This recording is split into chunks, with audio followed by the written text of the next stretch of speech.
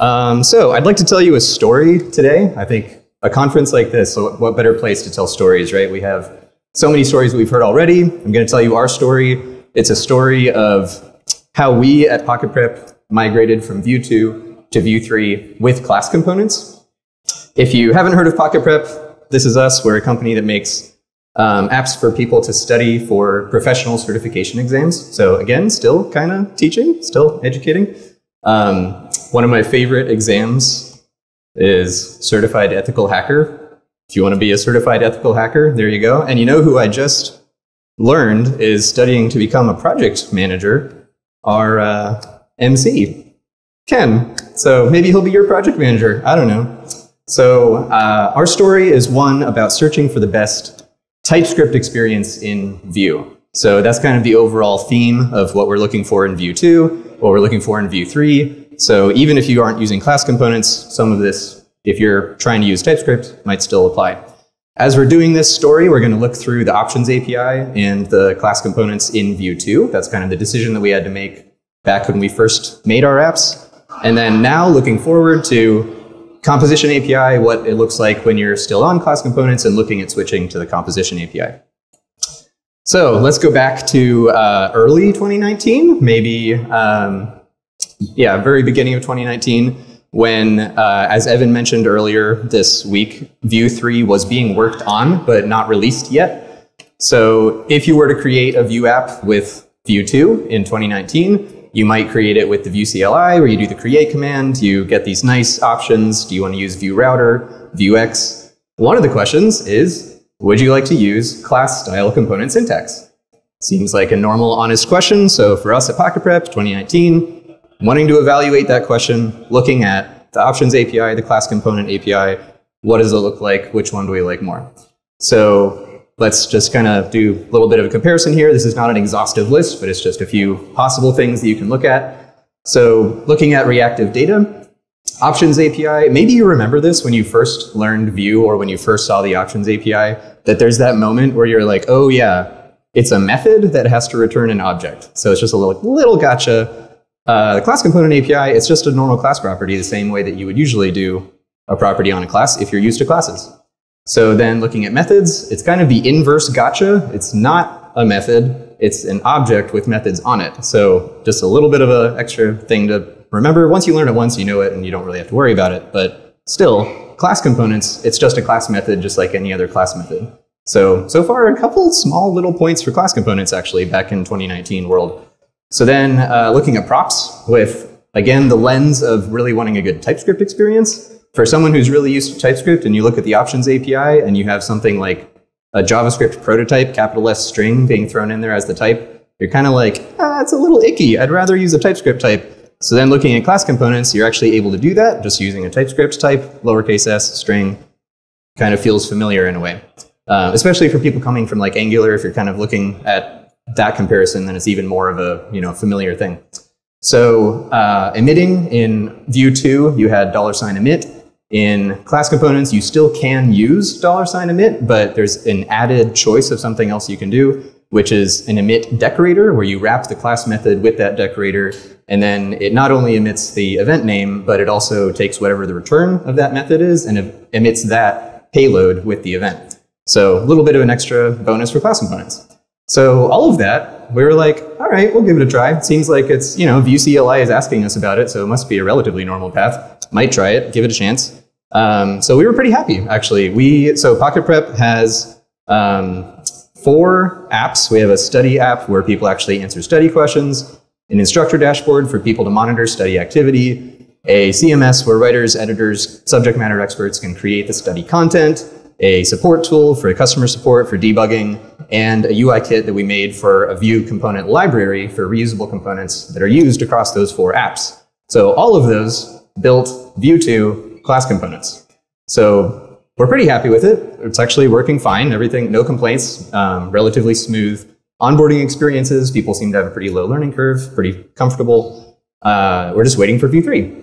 So uh, the very early days of Vue 3 actually had whispers of a core class API proposal. So that was interesting. We were like, okay, that would be cool. Um, that was actually pretty short lived, got dropped relatively quickly for plenty of totally valid reasons. And for those of us using class components, it was actually not that big of a deal because we were already used to Vue class component and Vue property decorator were these other packages that were how you used class components in Vue 2. So we were like, that's fine. We don't need the class API for Vue core. We'll just wait for Vue class component and Vue property decorator to migrate to Vue 3. Once they do that, we'll migrate to Vue 3. So that didn't really happen. So it turns out the uh, those packages, Vue class component and Vue property decorator, just basically stopped pushing updates. They they just maintainers went dark, uh, not really making any plans to migrate to Vue 3 whatsoever. So we were in this place trying to kind of figure out what our options were at that point.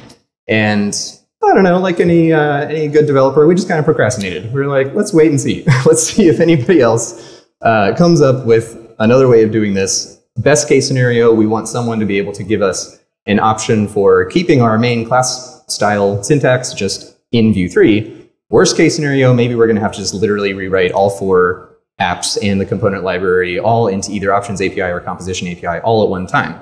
We weren't opposed to using the Composition API, it was just the effort of doing it all at one time as opposed to what we really wanted, getting to Vue 3 and then being able to do it a bit at a time.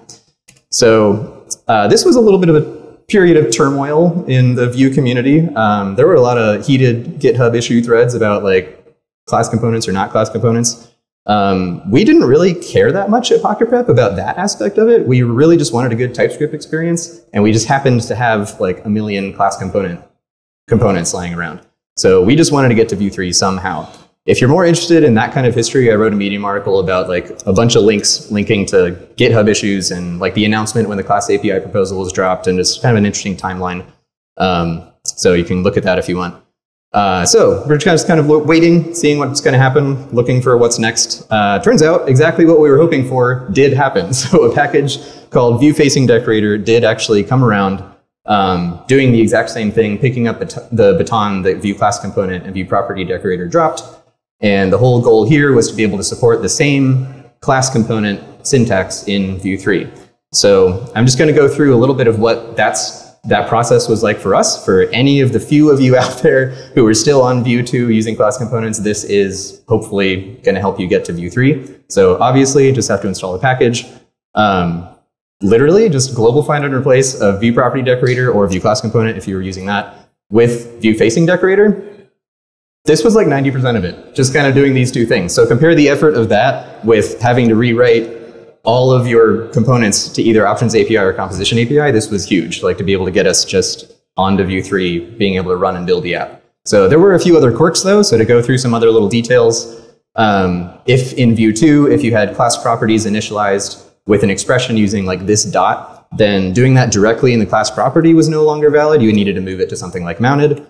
Um, dollar sign emit calls in Vue 2, and this is true for Vue 3 in general, that Vue 3 was stricter about needing to define or declare your emitted events. And so in class components, there was actually a convenience here for Vue 3 with Vue facing decorator. If you used at emit, then it actually defined that emit for the event that you were emitting was going to be defined for you, so you didn't have to do it in two places. Um, if you were using something like before route update or any of the other Vue router hooks or any other third-party library using a similar kind of thing where it put it on the top level of the options API object, in Vue facing decorator, you just need to nest it one level deeper on the options object within the decorator.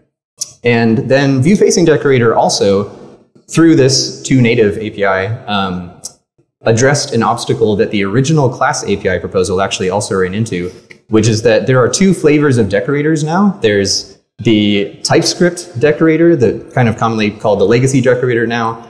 Um, it's turned on using the experimental decorators flag in your tsconfig. There's that, and then there's also the TC39 stage three proposal decorators for JavaScript decorators. Those are actually slightly different. And the way that Vue facing decorator addresses that is actually by supporting both. So if you, if you have experimental decorators turned on, then you're still able to use the legacy decorators. If you set experimental decorators to false, then if you use, if you wrap your export, your default class exports with toNative, then you can also use the TC39 stage three proposal decorators. Uh, so that's just the class component specific kind of realm of the migration, which honestly is relatively minimal compared to the rest of the migration that you have to do just for normal Webpack to Vite if you're doing that. Uh, Vue 2 to Vue 3, looking at the list of breaking changes, all of those things still apply. But for the pieces that are specific to class components, this was, at least for us, about it. Now, this is not an exhaustive list for everybody's context, obviously. If you were using more complicated architectures of class components with inherited classes, for example, we were not doing that. But if you are doing that, then Vue facing decorator does still support that, but you just would have to, it's not listed here. You'd have to go look at the documentation more. Um, so then other questions that people have about this package is just, is it being maintained? Can I trust it? We've been using it on production for all four of those apps for a while and the component library. Uh, it is also actively being maintained with things like paying attention to the stage three proposal of decorators, and also intending in an upcoming beta to ship both CommonJS and ES module versions of the package. So it is being maintained. It's paying attention to patterns and upcoming um, things that NPM packages need to be doing now. So let's go back to the composition API. Now that we're on Vue three, we have this opportunity now. We made it to Vue three, right? We did it. Like we could kind of just stop there. But what we want to do now is we want to know what are our options now that we've made it to Vue three. So we have our class components, but what if we also want to think about switching to the composition API? And so what we're looking at is looking at this through the lens of what's a really good TypeScript experience. So we want to see what kind of TypeScript experience we have now with the composition API and script setup. So the left side here is literally the exact same thing that we saw in the last comparison. Just the only thing that's different is you're importing from Vue facing decorator now instead of Vue property decorator. And then for the composition API, we have this example for reactive data. You just do const some data and you want to make it reactive with ref. So kind of what you say you want is what you write. So this is all well typed. It's perfectly like no complaints from a TypeScript perspective. And then for methods, you just want a method, you say const some method, it's well typed, you have a method. Like even saying this, like what I say you want is what you write. It's so intuitive, it's hard to complain about anything about it. Um, so define props. This one's actually kind of interesting. From a, from a TypeScript perspective, for somebody who has spent a long time using TypeScript, the first time you look at this might actually feel a little bit like a code smell kind of thing. Like you're sort of like, why am I passing a type parameter, but not using that type parameter to enforce a real parameter? Like that's not something that you would usually do in TypeScript. So it's important to remember that this is a compiler macro. So this is ultimately something that the Vue compiler uses this define props function as a way to get access to that type parameter.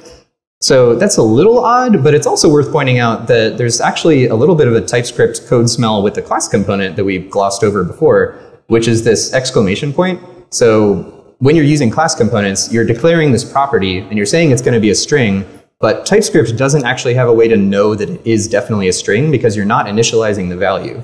You can't initialize values in class components with like some prop equals a string. You have to use the default over here to actually hook into the options API. So there actually is a little bit of a sacrifice that you're making either way from a TypeScript perspective for class components or the composition API.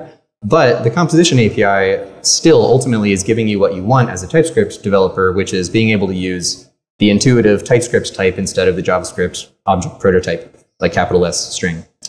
Um, kind of similarly for define emits, the define emits is a compiler macro that allows you to use regular TypeScript types to define the events that you want to emit. In this case, the something event doesn't actually have a payload, so it's just an empty tuple type but that tuple would allow you to define the payload type as well if you wanted to pass something with the event. So uh, that's a really good TypeScript experience with the composition API and the script setup. So at this point in Vue 3, it's really satisfying to be able to get to the point where you're on Vue 3 and you have the choice. For anyone who just really loves class components, like it does still work and you can still have that same TypeScript experience that you had in Vue 2, but you now have the ability to opt into switching on a component by component basis to something like the composition API and script setup, which is so much more flexible and comfortable and a happy place to be. So just to, to recap here, if you are using class components, please tell me. I just checked my wallet. I have $6. I will give $6 to anybody who walks up to me and tells me their story of using class components. So this, well, not anybody, the first person, I have $6. So, uh, so if you're using class components, please do let me know. You can send me a message, an email, whatever. Somehow, I would really like to hear about it. There's a Vue-facing decorator Discord, so if you join that, um, there's a community of people there who are actively migrating from Vue 2 to Vue 3 with class components and trying Vue-facing decorator. And if anybody ever runs into issues with it, then we can address questions there. Um, Vue facing decorator is the tool that at this point, if you are still on Vue 2 class components and you're just trying to get to Vue 3, give Vue facing decorator a shot. And if you run into issues, then let the Vue facing decorator Discord know. I'm relatively active on there. I try to help people when they run into issues.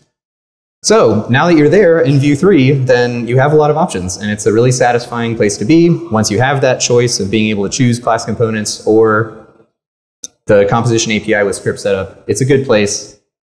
It is worth pointing out that if you're hoping to get access to things like Vapor mode, like script Vapor, then that's something that you probably want to try to get there sooner rather than later so that you have that ability to opt in to switching your components from a class component to a script Vapor kind of component. So hopefully this will give some people a path there and give some options for people who otherwise maybe felt like how we felt when we were a little bit stuck. But that's it. That's it for me. Thank you so much.